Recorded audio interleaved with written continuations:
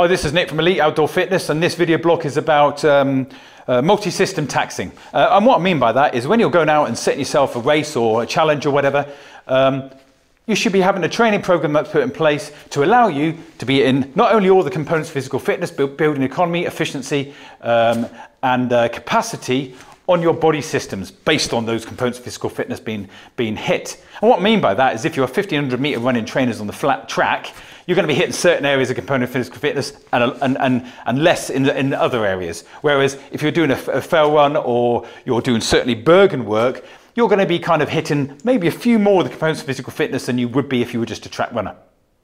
In turn, more systems uh, potentially can be overwhelmed if you're running six hours over the hills of the Bergen, then potentially can be overwhelmed uh, when you're doing a track 1500 meter run.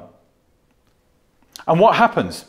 Well, if you overwhelm on a 1500 meter run and you go a little bit too fast out the gate, you can pull it back a little bit, rely on your VO2 max, and you probably recover quite well because there's less systems being taxed at a higher rate, and you can probably recover from it and pull out the bag. When you're doing a multidisciplined approach, it's not likely.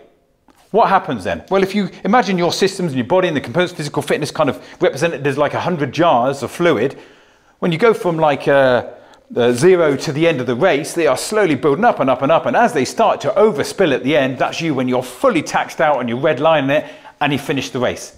And it should be an increase in possibly pace or, uh, um, pace or intensity um, or certainly heart rate during that so that you finish at the right level. That's the perfect pace race, isn't it? Most of us don't do that, especially in race conditions. And what actually happens with those is that some of those fluids or uh, components of physical fitness and, and, and systems get overtaxed and they overspill. And you'll recognize that, and all of a sudden you'll go, shit, I'm going too hard. I've nailed that too hard. I've still got another hour left, or I've still got another three miles left, or five miles, or whatever. And you pull back on your pace, and it's too late. Some of the systems that get overtaxed won't recover, recover fully.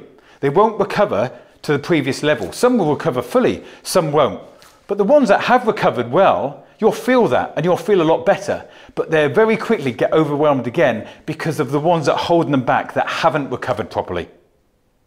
And what I mean by that is you probably recognize it by going out and doing an efficiency pace. Nice 75 to 82%, and you bound into the red line a bit or whatever, you pull back off the pace. And after a while, your heart rate actually doesn't go back down to the recovery state as it should do normally. You might be working at 82%, 82%, and during a 10 mile run, it will slowly increase. But if you go a little bit too hard, about six, seven, eight, nine miles, probably won't come and recover because it's your some systems being overtaxed.